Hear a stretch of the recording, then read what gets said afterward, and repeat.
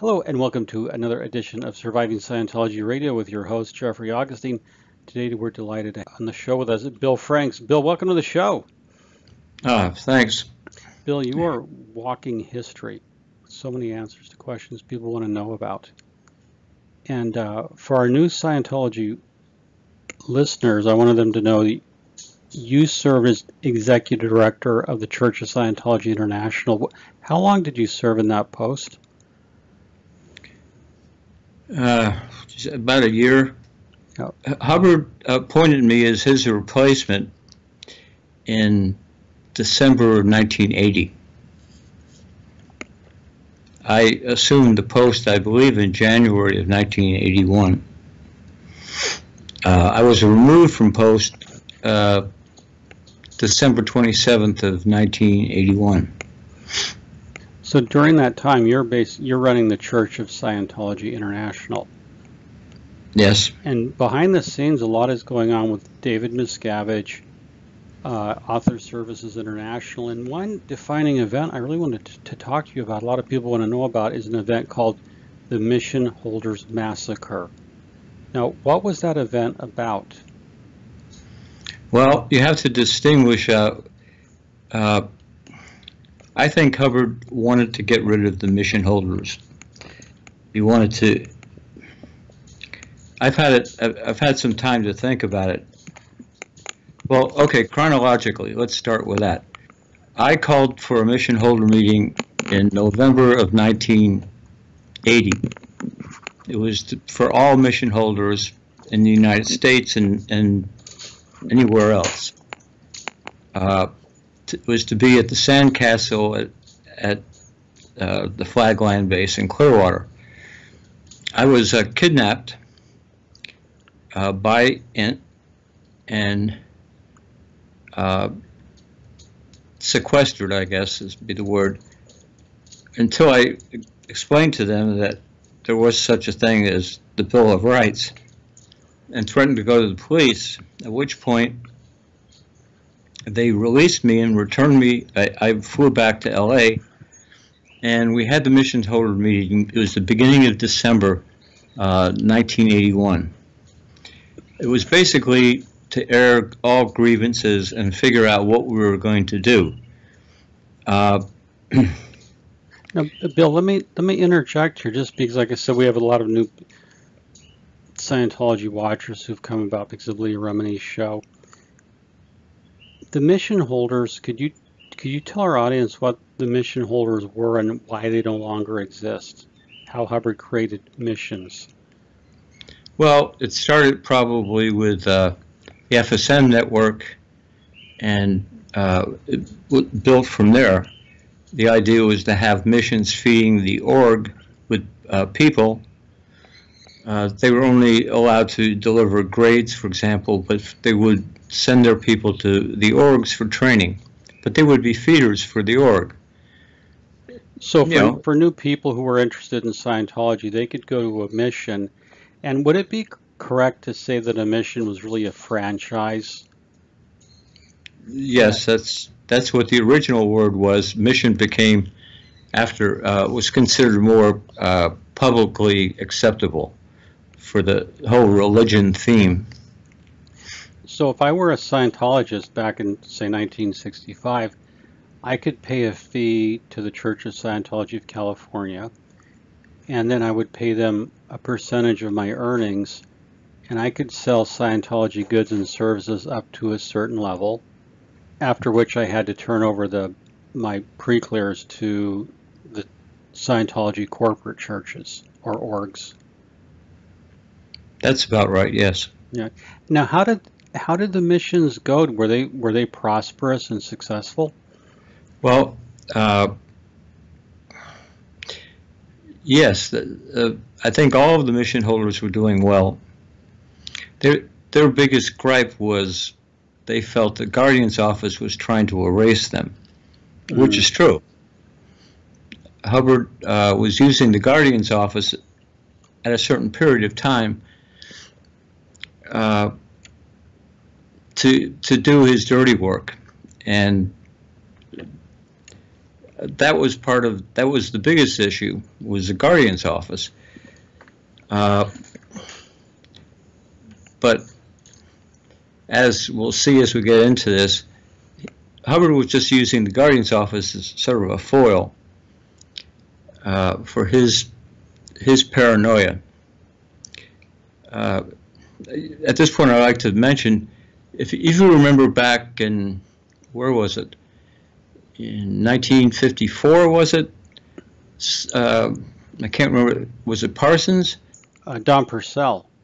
Yeah, okay, Don Purcell, that's correct. Yeah. Uh, tried to steal the his ownership, and he was extremely paranoid about this happening. And he saw the mission holders and the whole mission concept as something to worry about. Bill, uh, I'm, I'm, glad you mentioned that. For just a bit of history, L. Ron Hubbard started with the Dianetics Foundation prior to Scientology. And Dianetics made a lot of money the first year, and, it, and uh, an early Dianeticist named Don Purcell, who was a, an oil millionaire, real estate and oil, he, he convinced Ron to bring Dianetics Foundation out to Wichita, Kansas. So you had what was called the Wichita Foundation. And I'll fill in a bit of history for listeners. Uh, the Dianetics Foundation was basically going bankrupt because L. Ron Hubbard took a lot of cash out of the organization. I'm talking about he'd go, he'd go to the bank and take out a lot of cash, and so their their their expenses exceeded their income. And Don wanted financial management, and and wanted to let Ron create the tech, and uh, Ron didn't like it. Um, so what happened is that Ron, without anyone on Dianetics Foundation knowing, created his own Dianetics Foundation and he resigned as an officer of the Dianetics Foundation. Don Purcell immediately and the board put the foundation into bankruptcy, so Purcell was able to buy the book Dianetics and all of Ron's rights at bankruptcy auction. And so L. Ron Hubbard, for a period of time, actually lost control of Dianetics, his own name, and he, you know, Don Purcell was a businessman who outplayed him. And so to your point, that made L. Ron Hubbard paranoid as hell that he had lost control of his creation and his income stream. No, and, he never forgot that. No, he didn't. And you know, he, the origins of fair game can arguably be, be traced to Don Purcell taking over because Hubbard stole the mailing list of the Dianetics Foundation and he wrote letters to everyone calling Don Purcell and his colleagues liars, thieves, criminals, squirrels, so Purcell finally just gave up because when you got a, someone like Hubbard after you and his minions, he gave up and he gave Dianetics all the rights and everything back to Hubbard and said, here, you take it. He just walked away sick of it. And by then, Hubbard had created the Church of Scientology. So really, Scientology was incorporated, I believe, December 1953, and it served as a corporate vehicle whereby Hubbard could reboot Dianetics altogether under a different name. And he got so once he unified Dianetics and Scientology, he created the missions, but he was always afraid that they were going to take over, as it as had happened with Don Purcell. Did Hubbard ever talk to you about Don Purcell, Bill? At length, uh, really? a few times when I was on the ship. Wow, what did he say? I'm really dying to know. Well, he it was always in the context of Hubbard would talk about. I mean, this would be hours conversation. He would he would uh, exclaim somewhere in the middle of it all that he just he needed more money money, money, money. That's why I got into this. Well, uh, John Horowitz, who was the fellow I was with at the time, I think we were kind of shocked. But he had no no bones about it that this was his motivation. This is what, uh, and it scared the hell out of him. He, he would go on and, and explain what happened with Don Purcell. This can never happen again. And uh, he originally tasked uh, Mary Sue to make sure it never happened again.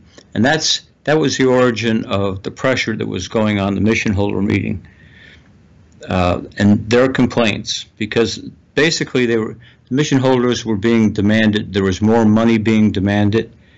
Uh, that was one of their beefs the guardians about the guardian's office and uh, they felt that they were under attack which they were.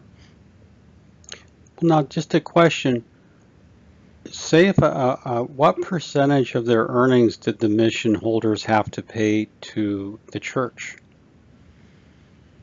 Well, uh,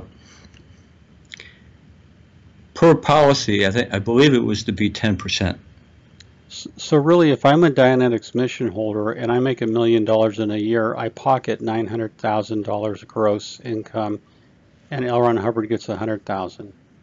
That's correct so therefore, connecting dots, if Hubbard, it, who wrote in policy, which you've read, make money, make more money, make others produce so as to make more money, unquote. If I kept 900,000 as a mission holder, this would be intolerable to Mr. Hubbard. Well, Hubbard, Hubbard viewed it as, as his money. So yeah, it would be intolerable.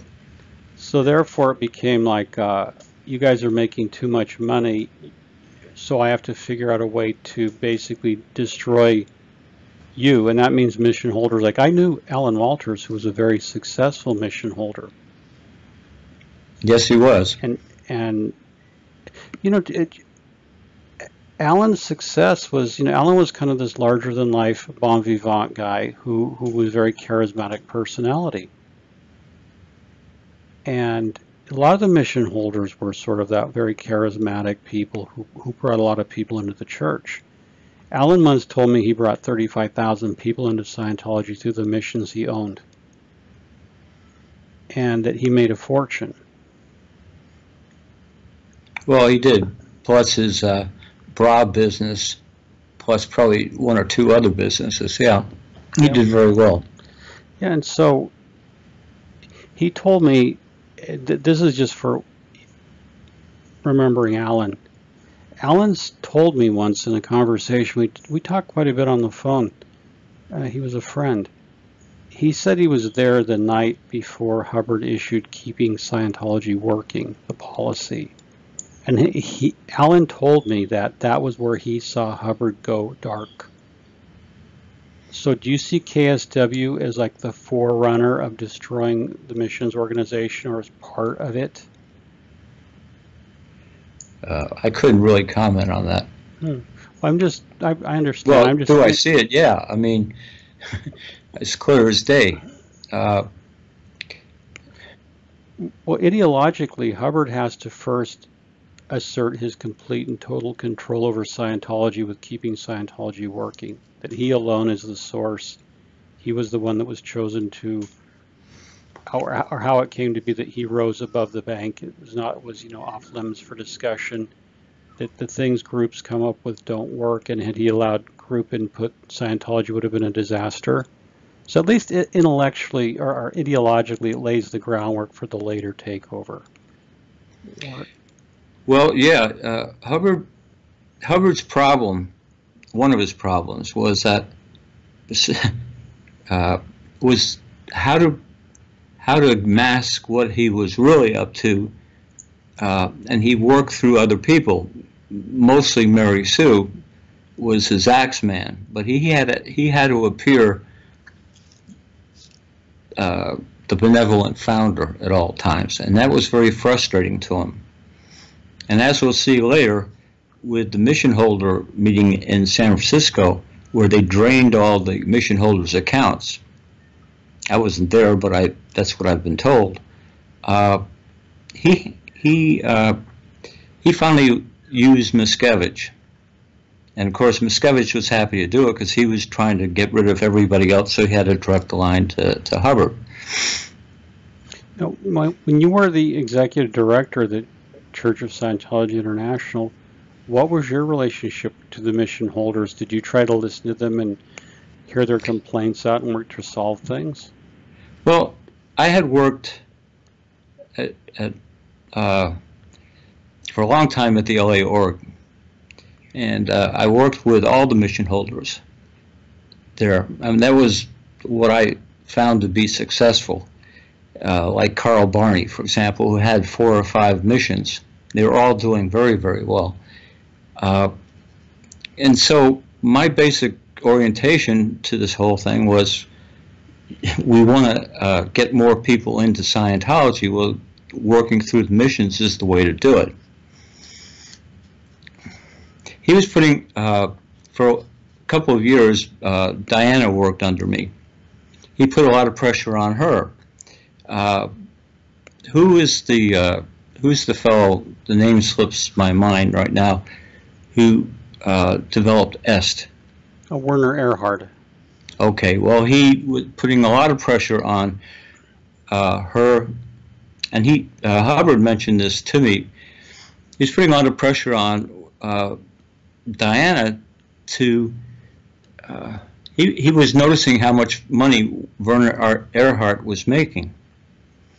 Uh, and he, he was putting a lot of pressure on her to do a direct uh, bypassing the mission holders is what I'm getting at, and doing mass, uh, you know, like the kind of uh, weekend deals that Werner Erhard would apparently do. So he was modeling. He was he was looking at the mission holders as this enemy for quite a quite a few years. You know, that's very interesting because, um, you know, when I was a, a young man, I did EST out of the Newport Beach Area Center. In fact, I knew uh, Werner's brother Nathan is a, a gentleman, and uh, it, EST was very successful because it, the the format was two two weekends, and it was very different than Scientology. Hubbard, uh, when he was watching television, he saw uh, Werner Erhard on a, I think Mike Douglas's show back then, and sa- and concluded Hubbard concluded that EST was Scientology up until 1954. Werner Erhard had done Scientology. He was a grade four release, as I understand the matter, and um, he did take some Scientology into EST, but he also did some Zen and some other things. So Hubbard wanted to get rid of the mission holders and replace it with some sort of vehicle like EST that would bring a lot of people into Scientology, is what you're saying. Yes, and it was, and it was a, but more importantly, it was a direct cash flow. There was no ten percent. There was no missions to uh, massage. He got the cash. Yeah, and that would be the big upside is is get rid of the people who were taking 90, 90 cents of every dollar and just put it in his own pocket. So that would be a win-win in Hubbard's world. Yes. Now, but did they ever did did Diana Hubbard ever actually come close to creating anything akin to EST? No, uh, no, she didn't. And I, I'm not surprised because I, I can see how within the Scientology context it wouldn't lend itself to the freedom that EST had. Uh, for example, in EST you could you in a group process, you know, you could say things that would be forbidden, that would be criminal uh, within the setting of Scientology. So that plan having failed, when was it decided I mean, L. Ron Hubbard himself is the one who, who made the decision to destroy the Mission Holders Network. Yes. But he had to hide behind his his uh, axemen, as you call them. So, David Miscavige, at this point, would he have been the action chief? Yes, that was the, that was the position that he sort of maneuvered himself into, and, and it allowed him to basically if you talk to the people who were on the watchdog committee, you know, at international management, he got rid of all of them one by one.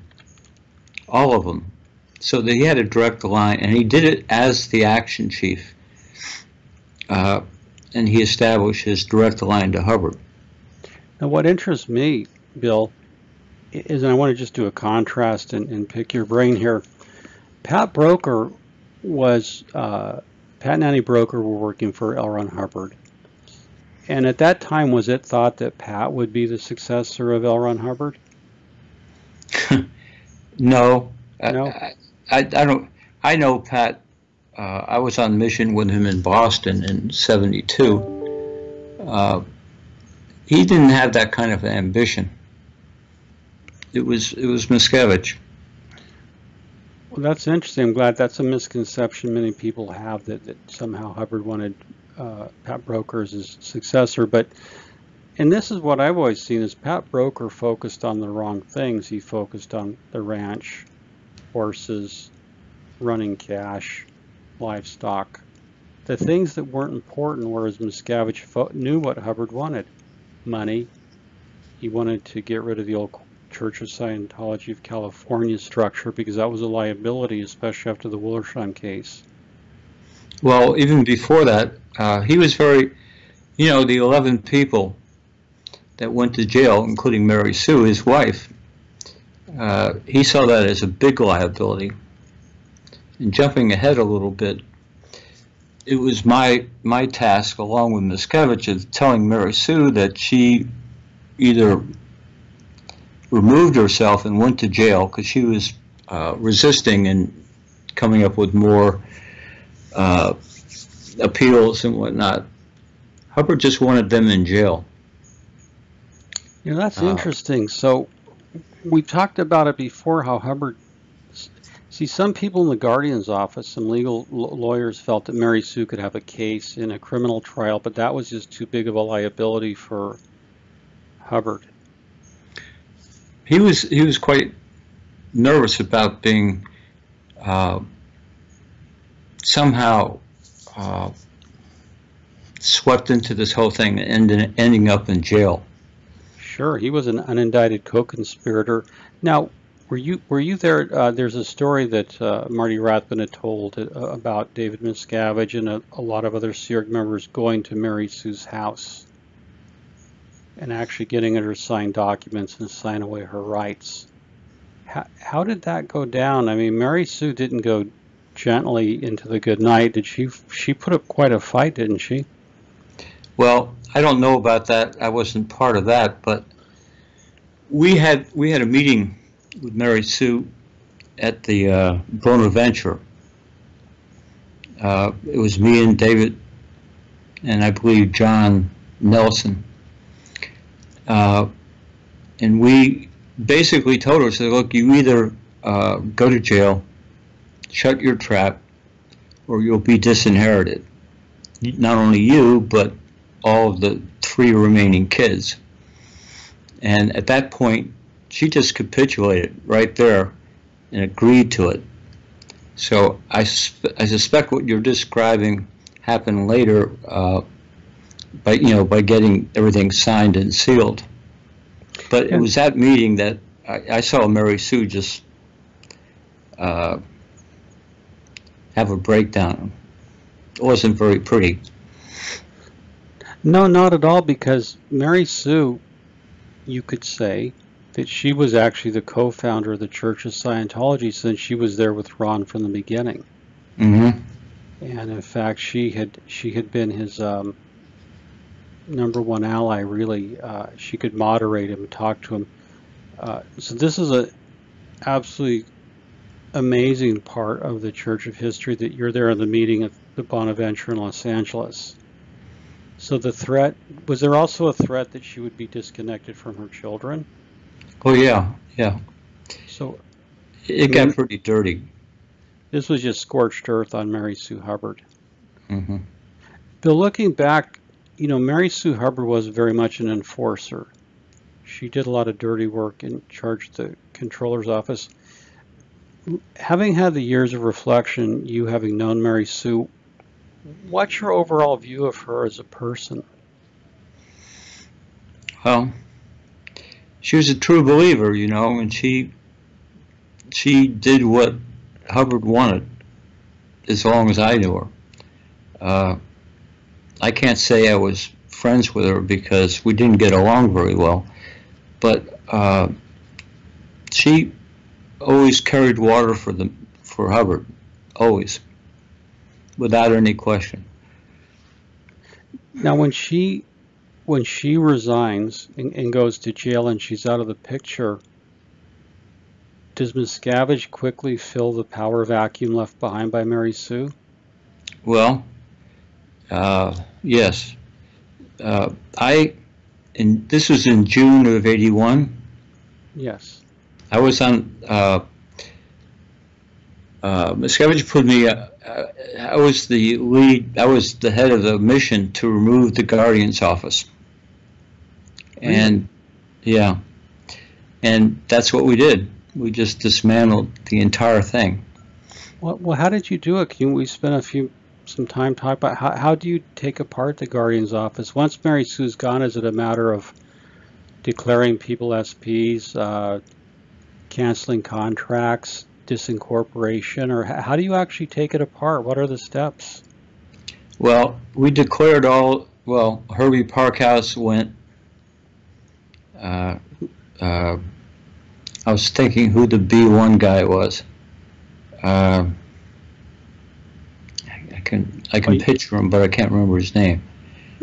Uh, but yeah, we we went right through it. They either capitulated and worked at, at that time for me, or or they were out. And that was the case. Like Jimmy Mulligan, Hmm. for example, was declared. Same thing with um, his wife, who was the uh, guardian legal. And then what happened to Jane Kember?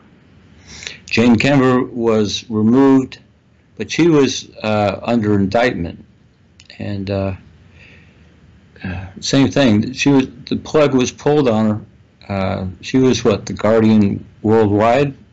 Yeah, and didn't she and Mo she and Mo Budlong, I believe, went to England and fought extradition to the U.S.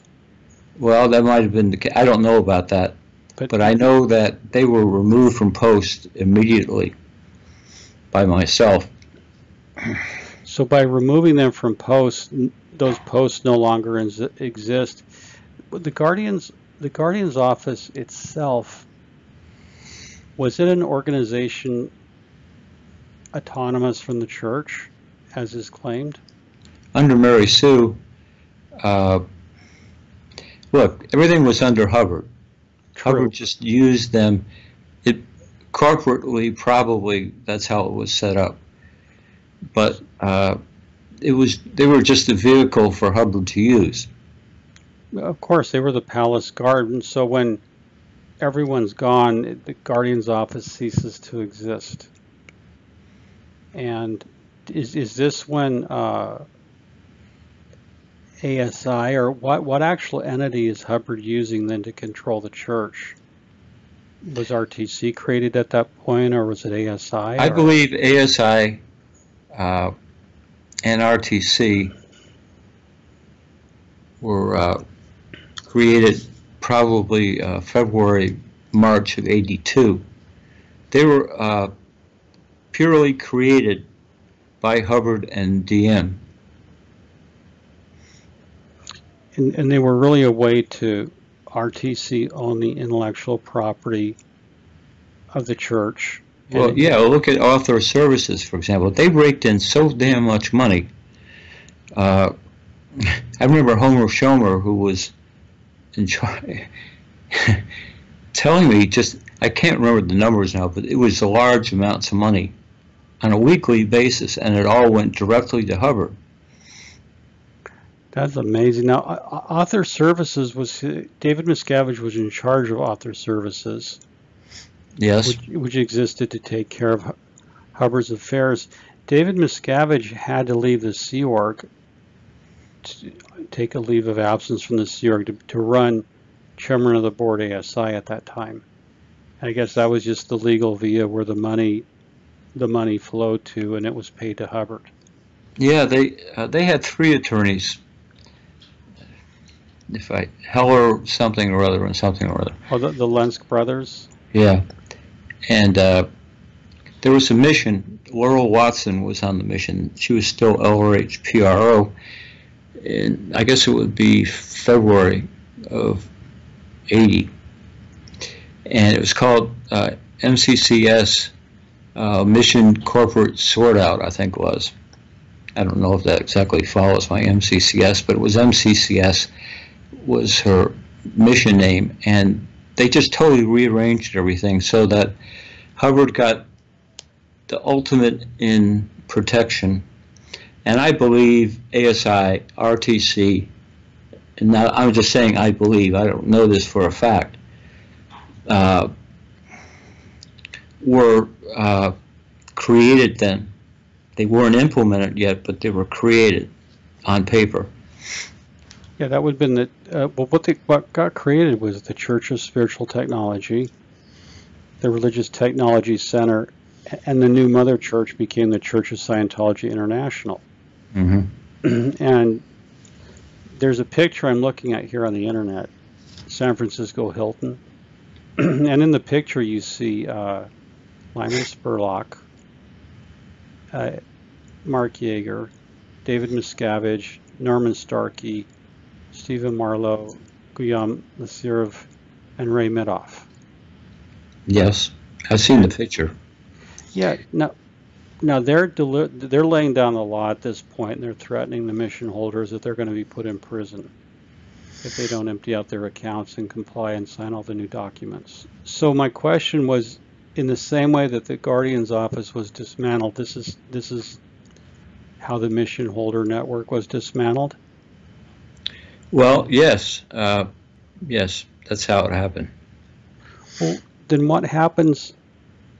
What happens to all the people that that were in missions? Did they either was there a schism at the time? Did a lot of people leave the church, as I understand it, or what? What what was the fallout in the field? Well, I, I don't really know because I wasn't in the church at that point, but um, Oh, you had, had you been declared? yeah, I had been declared uh, and removed from post on the 27th of December. I think I told you that. That's when I was asked if I wanted to go to skiing on a skiing trip to the Pyrenees, Oh, yeah, they were kind of. which was kind of random, you know. oh my God. Needless to say, I didn't accept. And uh, but what precipitated was I had this mission holder meeting in. Uh, I think this is what really exacerbated the whole thing. Uh, the mission, the first mission holder meeting was in December of '81, and that's what I had been kidnapped for. Uh, for, and uh, eventually, I sort of shamed him into letting me run it, to go back and, and have the meeting. Uh, it's really unfortunate because uh, what's unfortunate is Miscavige apparently, uh, starting in '82, there were, there were we had ten different people uh, videoing the event. The event went on for four days. I demanded the last day for all of the WDC to come down, and they did. Miscavige was scared shitless. Uh, Hmm. He begged me, along with Mark Yeager. Mark Yeager actually got on his knees and begged me to call the meeting off because they just didn't. They they weren't used to meeting anybody. Um, and all the demands were laid out from the mission holder meeting. Now, when you were kidnapped, were you physically grabbed, tied up, and taken away? What? How did your kidnapping? I wasn't tied up, but No. I I, uh, I was isolated. I had guards on me. Um, uh, so But, but you So- get released to go run the last day of the meeting, Well, as I said, I threatened to go to the police. which is, according to L. Ron Hubbard, a high crime, correct? Well, at that point, I just didn't give a hell, you know. No, you wouldn't, but I'm saying for, for people who are new to Scientology, um, are not familiar with it, as a Scientologist, you're not allowed to report or turn over another Scientologist to the police or civil authorities. Yes. That's actually in policy. And I, Bill, the reason I want to make the point for, for new Scientology watchers is Scientology considers that it is above the law, and it's it, it is its own law. Therefore, you can be declared if you and Hubbard put this in writing, turning over the person of another Scientologist to the police or, or, or civil authorities. So, yeah, I imagine that you saying I'm going to call the police if you don't let me go impacts them like we don't have control of Bill Franks anymore. Yes, well, uh, I just might add, it also shows you my desperation. I, I never would have ever thought of doing that, uh, but I, I wasn't going to be locked up. Oh, hell no. Hell no. You're very much your own man. And so, the mission holders, you know, you, you go on Google, people can go on Google and read about the mission holders basically turn over their bank accounts. And in many cases, they turn over their the deeds to their property. They actually own their own buildings. And Scientology. Yes, that happened to uh, uh, Bent Corydon. He had to turn over this historic building down in Riverside, California. He eventually got it back, thanks to uh, some collaboration from me. But yeah, that's that's exactly what happened. And yeah, and that's a great that's a great story that uh, was one of the few people who actually deposed Miscavige, and thanks to your help and, and, and, and others and, and Ben's persistence, he did get his building back. But to just show that, that all these people who contribute to Scientology, who were true believers who wanted to build it, Hubbard could destroy them out of sheer caprice and greed. They meant nothing to him. And and including you, you who, who have been. We were all expendable, yes. Yeah, and Hubbard's in Hubbard's. How did Hubbard look at people? Were they just, just unit units of production? I mean, did he have? Could he have friends? Well, if he did, I don't know of any. Uh, he was he was uh, well in his own words. I'm in it for the money, and uh, that that statement was made to me, and it was right before. Um, the birthday game came out, what, in 74? Around there. And, you know, Bill, for, for Hubbard to say, I'm only in it for the money, corroborates what many have said, as L. Ron Hubbard told his old um, science fiction writing pals, if you want to get rich, the way to do it's not a penny a word, but start your own religion. And he tells Helen O'Brien, his secretary, we have to look into the religion angle. Uh, switching gears when Mary Sue Hubbard was, when she was sent off to prison, and Miscavige steps in to kind of fill the power vacuum, do you think Mary Sue Hubbard had a good influence on L. Ron Hubbard or made him worse? I mean, what what changes does Hubbard have with Mary Sue out of the way, not running the Guardian's office? Does he become even more unrestrained, unhinged? He, I believe he viewed it as removing impediments to him just grabbing money. I mean, mm. it sounds uh, incredible. I mean, from the perspective of a true believer, but he told me in three separate occasions what I, what I've said about money and how money and power is really what he wanted uh, and everything else was just a waste of time. But uh, I remember David Mayo saying the same thing. Uh, uh, in fact, it's in writing somewhere where you know David's recollections of uh, Hubbard and Hubbard's view on money. So it was just a, towards the end of his life, all he wanted to do was get more money, which I think he passed passed on to Miscavige uh, uh, from uh, he doesn't Miscavige doesn't have any clue I wouldn't say he has a, a clue as to what the the virtues of Scientology proclaimed, even though it turned out to be all BS. Uh, he's just, he's in it, for, you know, he was almost like, a, how I came to view it, it's like he's almost like the perfect uh, successor. That's that's extremely revealing. He has the same will to power, the same immorality, the same greed, the lust for money. And he's willing to destroy people. Yeah. Now, we know that before, we know that Hubbard, uh,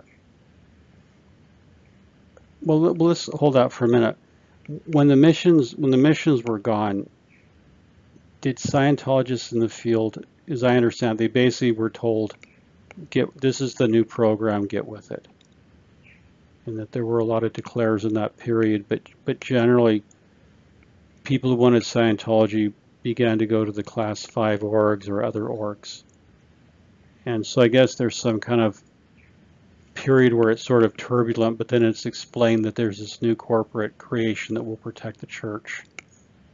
Uh, even better that the rogues and the guardian's office are gone. Mm-hmm. And the mission holders were viewed as criminals who had to be purged just like the guardian's office. so there's a kind of a rewriting of history during this period from from what I from my study of it. And I um, Bill I I wanted to do some Scientology in this period through a client and there was still a lot of enormous paranoia that had come in the aftermath of the mission holder massacre, which is why my first introduction to Scientology was the uh, doing the Oxford capacity analysis, their so-called scientific personality test, which which has nothing to do with Oxford University, yeah. which has nothing to do with personality analysis or anything. It's uh, just a manipulative tool. But I remember I had a, a long and extensive sec check, and they were very concerned about if I had been sent in. And that really st stuck me as a you know new to Scientology. Like, who thinks like that? Have I been? Am I a member of the press? Am I a member of a law enforcement? Have I been sent in by law enforcement? The language is so unusual because in my life, no one had ever addressed me like that have you been sent in for the purposes of destroying Scientology organizations? The, the, the question is so weird for a new person. It must be a real shock for a new guy. Well, well you, to use a Scientology term, you can't think with it. Like, no, who the, you know, here I'm a, I'm a young guy in my 20s. I haven't, I'm curious about past lives. I'm not, I haven't been sent in by anybody. And even had I been sent and I didn't know enough about Scientology to know even what to look for, assuming I had been sent in, which I hadn't been sent in. So it develops this thing in your head about these guys are really weird, weird people. This is not like a church. And um, so, so the mission holder massacre is a, a turning point in the church where then Hubbard basically is free to run the entire thing while pretending he has nothing to do with running the church. Yes. Bill, when you um, when you when you were executive director, you still believed you, you could you could run the church, that it could it could do something. Did you ever have any any premonition or feelings or intuitions that the mission holder network would be destroyed. Did you see that coming, or was it a surprise? Well, no. Um, my eyes started awaking, awaken uh, when Mayo and I. This would be in August of '74. I've mentioned this in other podcasts, uh, where Hubbard basically confided in writing, but then the dispatch was to be destroyed immediately, uh, that there is no overts and withholds. That it's all just, it's his method of controlling people. Those are his words. Really? Could you say that again? I... that there is no overts and withholds. The context was that I was the director of training on flag. Uh, Mayo, of course, was the senior CS, and we were trying. To, we had a blown student. We were in, I believe, in Morocco at the time, and a student blowing without a passport is, you know, it's pretty significant. We got him back, and then we lost him, and we were trying to show that Hubbard. We were trying to show Hubbard, demonstrate to Hubbard that we had followed the technology 100%, et cetera, et cetera. Uh, and we waited and we waited and we waited this particular night. We had sent all the folders up to his office. Uh, it was like 3.30 in the morning, and we got this uh, dispatch. Clara Popham was the messenger, and how, what I just said is exactly what he said it, it was just a shock. And you can imagine how David, the senior CS, uh, you know, overts and withholds are a large part of the technology, at least at that time. Sure. Uh, and it's called o OWs, and it's still a big part of the technology. right up your OWs, your overts and withholds. But Hubbard's saying it's just a control mechanism. Yeah, it's a complete bullshit. It's he's he just said this is how I control people, and he he swore us to secret, secrecy, and he said if you uh, ever release this information, I'll lose all control of Scientology. That's just absolutely stunning revelation, Bill. It, it, it's historical because if you think about it, writing up your, your overts and withholds, it, it's, it's a way to control somebody, but it interiorizes them. It crushes them down because it makes them think they're doing something wrong. Yes. They're criminals. They're just really pieces of garbage who are out to destroy something that. It's Orwellian at best. And oh, it's it, it's mind-boggling. And um, you're an educated gentleman, Bill. You, you, and a question that people get asked that or that I'm asked is how can smart people fall for Scientology? And and I said there's no one way to answer it. You, first of all, they don't know what they're getting themselves into because there's no disclosure. But when you're a doctrinaire Scientologist, when you hear that, that OWs is Hubbard's way of controlling people, it must have hit you like a ton of bricks. Well, you know, David Mayo had a scholarship to Oxford or Cambridge, his choice. He chose Scientology. This is when he graduated from high school.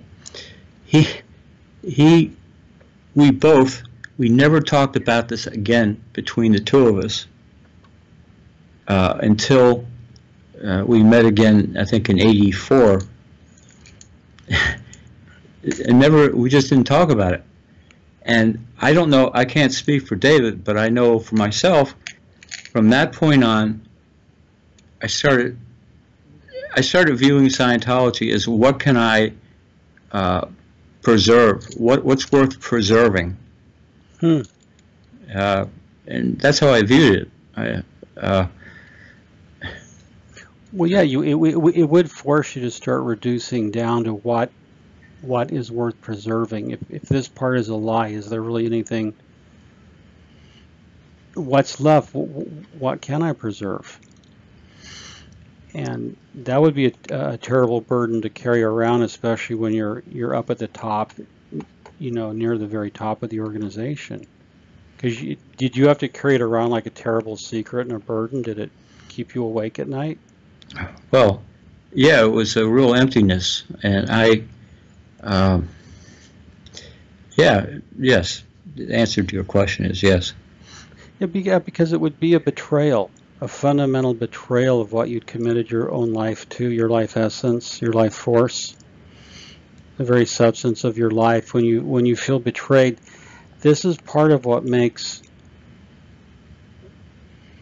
some forms of what you think are spirituality so devastating when you find out it's fraudulent. That it's really an organization out to manipulate people and what you were, really believing is not true there's a fundamental betrayal and a sense of loss. Yeah, what I learned from it is you got to watch out for ideologies because ideologies, you, you, work, ideologies are sort of a shortcut through life, so you don't have to think. Uh, and it's it's my thinking was more like what can I preserve rather than this is just baloney. I mean, what we found out that night should have been enough to just Yeah, in, in the church right then and there. yeah And and to your point about ideologies, in, in, in my my work, I call them religions, ideologies, plug and play identity systems. In other words, for, for people who, who, who don't think, this is a plug and play identity system. It tells you who you are, what the purpose of life is, what happens after you die, what you should do now, what you should obey, what you should not do, what you should do. It, it, it simplifies things. So for the search for truth ends and the defense of an identity begins when you adopt an ideology or a religious system because you identify with it. And when that becomes your essence and substance it's easy to radicalize people. It's easy to get them to lie to harm others to cheat and to do things that, that they otherwise would not do but they have so identified with it and I know that, that in the modern church under Miscavige, and this is very important, is the identity is enforced. It becomes must be a Scientologist in good standing, must increase my IAS patron statuses. And I look at it's such a falsification of, of what a true, authentic, existential investigation into the nature of existence itself would be because a, an authentic and profound confrontation with the, exist, the existential nature of life is not about getting these glorified bowling trophies and giving money to an organization. In fact, that has nothing to do with an, uh, an inquiry into truth or the nature of reality. And uh, and yet in Scientology, you can believe that that's you're actually Hubbard said that this is actually the living lightning of life. You know, he was a very skilled writer in the way he could manipulate phrases like that. Yes, and very profound. He, he liked to be considered very profound. Yeah, he did. He was the. Uh, that's why he called himself Source, which is a big deal. Quite quite a big ambitious term. Well, Bill, this is a this is very fascinating. I'd like to do another one where we go into some more of the details and nuances of everyday life in Scientology, you know, and talk about what goes on in terms of how they indoctrinate people, you know, what goes on and get more of, of your life story in our next interview. All right. Well, this is probably a good time for me to end off, too. Yeah, likewise. And thank you so much, Bill Franks, for being on the show for Okay. Surviving Scientology Radio. This is your host, Jeffrey Augustine. Thank you so much for listening, and thank you, Bill Franks. And as always, we'll be in very good touch.